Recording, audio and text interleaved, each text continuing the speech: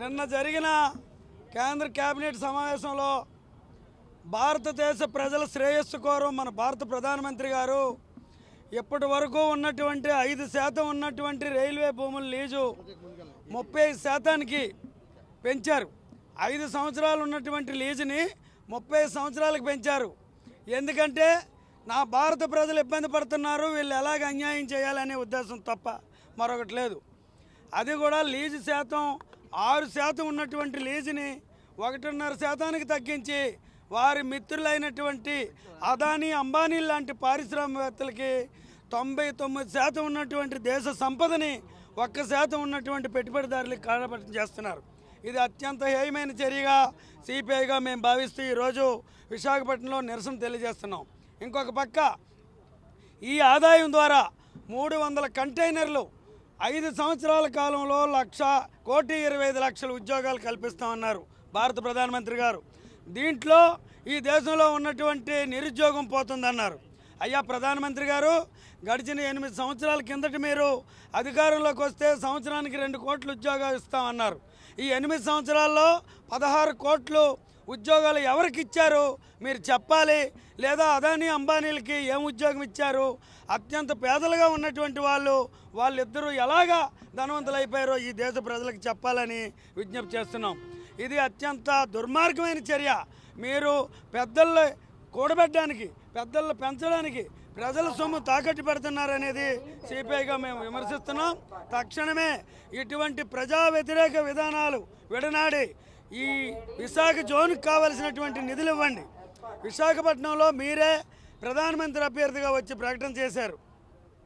విశాఖపట్నం దక్షిణ కోస్తా railway zone త్వరలో ప్రకటన చేస్తామని. ఏమైంది? ఏం చేశారు? ఈ దేశ ప్రజల్ని ఎంతకాలం మోసం చేస్తారు? ఇలా మోసం చేస్తే చెల్లదు ప్రధానమంత్రి గారు.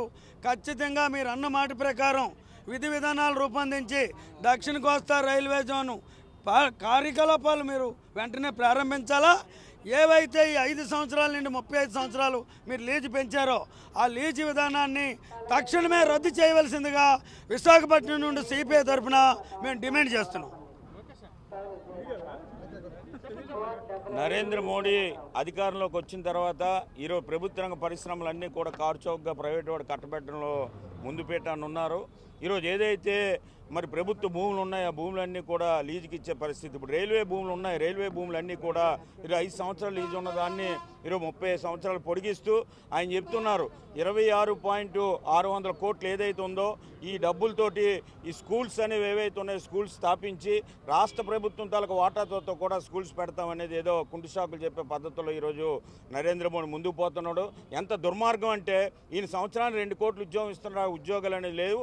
ఉన్న ఉద్యోగాలను తీసి రోడ్డు మీద పంపించే విధంగా ఈరోజు రైల్వే మన ఇక్కడ స్టీల్ ప్లాంట్ ఉన్న ఏదైతే ప్రైవేట్ వరకు వంద పర్సెంట్ అనేది ఇచ్చేయడం జరిగింది.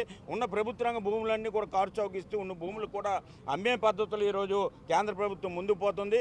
ఇప్పటికైనా నరేంద్ర మోడీ అసలు మీకు ఏమైనా కనీసం ఆయన ఇంకిత జ్ఞానం ఉంటే ఈరోజు ఏదో మీరు లక్క కోటు పైచులుగా ఉద్యోగాలు వస్తాయని కుంటుసాకు చెప్తుంటే ఇది చాలా దుర్మార్గమైన చర్య.